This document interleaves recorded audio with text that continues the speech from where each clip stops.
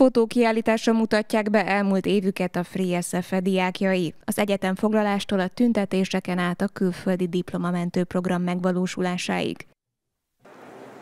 A Színház és Filmművészeti Egyetem tavaly szakadt ketté, amikor az intézmény alapítványi kézbe került, élére pedig új kuratóriumi vezetőket neveztek ki. A kiszakadó oktatók és diákok idén januárban egyesületté alakultak, Külföldi egyetemek segítségével több tanuló is diplomához juthat az Emergency Exit programon keresztül, amelyet az Európai Parlament is díjazott. Ami például engem nagyon hajt, az, az a párbeszédnek a műfaja, ami itt elindult. Köztünk.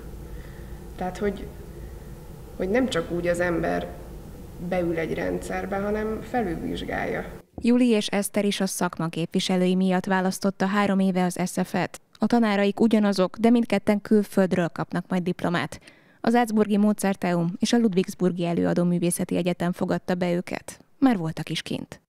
Zászburgban is volt egy ilyen nagy beszélgetés erről, ahogy így, mint az ilyen háborút megélt öregek így mutogattuk az ilyen egyetemfoglalásos emlékeinket, hogy hogy volt. Szívük szerint mindketten Magyarországon alkotnának.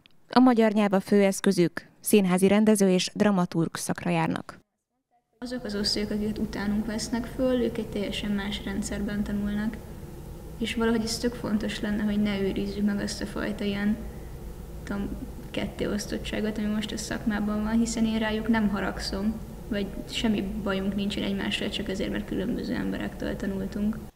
Jelenleg azonban maga az oktatás komoly kihívásokat jelent, amelyen a járványhelyzet sem könnyített. Az Egyesület támogatások és szívességek segítségével oldja meg a tanítást, például a CEU tantermeiben.